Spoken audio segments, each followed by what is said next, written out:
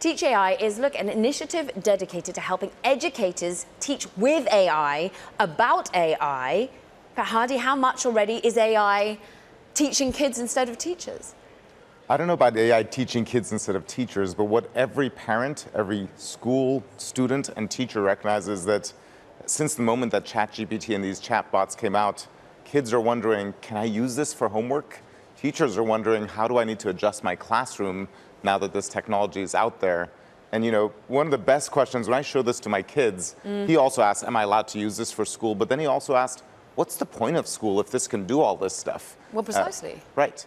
And so these are questions that nobody has firm answers to. And part of the issue is that the technology creators aren't saying how schools should be using it, and school leaders are just receiving this technologies coming out, wondering how do we react, and it's moving so fast. The goal of Teach AI is to bring together tech leaders such as OpenAI, Microsoft, and Amazon who are creating these technologies together with education leaders such as Code.org, Khan Academy, the College Board, and then global education leaders all across this country and on all six continents to answer these questions about how should education evolve for an age of AI. Uh, I mean, will this erode many a business model? You're currently looking at incorporating AI curriculum, you say, and tools into your platform to reach 150 million students by 2030. But what is education? Prophesize for us. What is education going to look like by 2030? Will they really be using online tools? Well, one thing I could say is the current education system we use where students spend most of their time reading in books and sort of filling their heads with knowledge from books was designed based on the invention of the printing press 600 years ago. And so we need to rethink how we do education in a time when information is available at your fingertips and AI can synthesize and, and create for you. And so our goal isn't just to get students who know how to memorize a lot of information and practice repetitive rote tasks, but helping students become creators and problem solvers using AI as a superpower. Yeah, are you on the side that AI augments rather than competes against? Or are you already thinking, wow, education is going to have to so pivot because the job market is going to so have to pivot? I think both of those are, are true. AI absolutely augments, but we need to teach students not just the skills of the past, but also the skills of the future.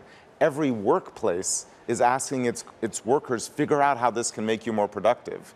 Whereas today, many schools are banning AI because it's considered mm. cheating the, the cheating that people are trying to stop in schools is what employers want their employees to do. They're like, oh, if this makes you work faster, please do it if it, if it reduces the time spent on any kind of task. Hadi, does Code.org, good morning by the way, have any sort of granular insight into how students, either at the high school level or college level, are actually using generative AI tools? Uh, this, how they're using it, it's, it's much broader than what Code.org sees. And honestly, the best way to see that is what is listening to parents, students, and teachers. Uh, and it's much more anecdotal. You know, for, as one example, my neighbor's daughter just got an F on a homework assignment because the teacher accused her of using ChatGPT. Mm -hmm. And she's insisting I didn't use it, I wrote it myself. Uh, and that's a kind of story that's happening all around the world. Uh, it's not easy to keep track of because, first of all, students, when they use these tools, they use them at home and they also know to change up the writing and to personalize it as well. Uh, but the real issue we need to talk about is not to view using of new technology as cheating, but to figure out how do we move the goalposts of education, how do we teach creativity, communication skills, problem solving skills, and technological fluency so students learn the stuff that we want them to learn, including how to use these tools to be more productive. So in Chegg's case, their shares are, are plunging because they gave evidence that their offering is being displaced by ChatGPT. It's a free service, principally, that anyone can access as long as they, they get past the wait list. Is that what you're seeing? That generative AI tools are displacing traditional online education tools?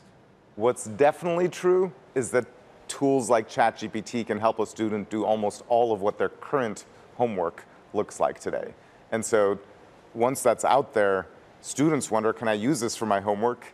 And of course, teachers, classrooms, schools wonder, how do we change what homework is?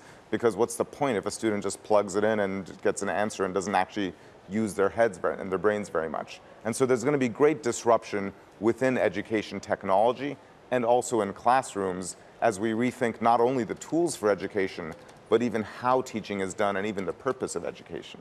You've been in the for profit side, starting your career at Microsoft and other tech giants. And then when you're now in a non profit focus, how much are you talking with government? How much are you thinking about the ethical repercussions of where artificial intelligence is leading us, whether it be from children, whether it be more broadly about the way in which we use it as humankind and what it ultimately means for all of us and our productivity? That is a fantastic question. It's the purpose of what we're announcing today with Teach AI, which is to bring together for profit and private corporate leaders, basically the technology creators, with the education leaders, many of which are basically governments, to have this dialogue to figure out how to safely and ethically and equitably integrate AI and not put it back in its box. You don't right. think we should slow down? Yeah, there's two the extremes, which is just release the technology, see what happens, and the other extreme is ban it, slow it down, stop it.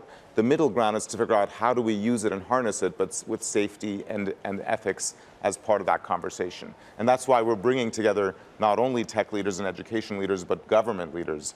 There's numerous ministries from around the world, ministries of education, that are participating in this work because they want to basically be at the forefront of how we change education.